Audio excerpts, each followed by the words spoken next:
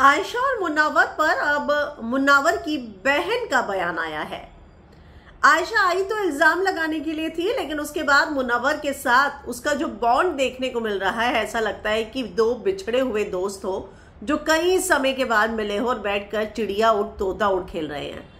साथ में खाना खा रहे हैं, खाना शेयर कर रहे हैं, एक दूसरे से कपड़े कोऑर्डिनेट कर रहे हैं। तो मतलब क्या करने आई थी आयशा और क्या हमें देखने को मिल रहा है इसको देखकर? मुझे लगता है मेरी तरह बहुत सारी ऑडियंस भी सरप्राइज़ तो होगी ही। लेकिन यहाँ मुन्नवर को रोता देखकर अब उसकी फैमिली ने क्या कहा है? ज़ाहिर सी बात है कि परिवार तो परेशान होगा डिस्टर्ब होगा ही तो मुन्नवर की बहन ने जो है आगे आकर एक बयान दिया है और वो कहती हैं कि मैं ज़्यादा बात नहीं करना चाहती। कुछ दिन रुक जाइए। चीज़ों को थोड़ा क्लियर हो जाने दीजिए। मुझे लगता है वीकेंड का वार के बाद मैं इसके बारे में कुछ बोल पाऊँगी। वीकेंड का वार बीत जाने दीजिए। इसके बाद वो कहती है, उन्हें इस हालत में देखकर बहुत तकलीफ़ हुई, लेकिन वो बहुत मज़बूत है। वो निश्चित रूप से संभाल लेगा अपने आप को और वापस अपने गेम पर ध्यान देगा। मैं आपको बता दूँ, चाहूँगी कि मुनव्वर रियल लाइफ में भी बहुत इमोशनल है, बहुत आसानी से रो देता है। हालाँकि मुझे यकीन है, अल्लाह चीज़ें बेहतर करेगा।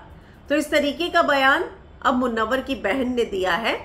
ज़ाहिर सी बात है कि वो कह रही हैं कि वीकेंड का वार के बाद बताऊँगी, यानी कि वो देखना चाहती हैं कि सलमान का इन सारी चीज़ों पर क्या रिएक्शन है। तो आपको क्या लगता है कि ये सारी चीज़ें बाहर से प्लान की गई हैं? आपकी क्या राय है? ज़रूर बताइएगा।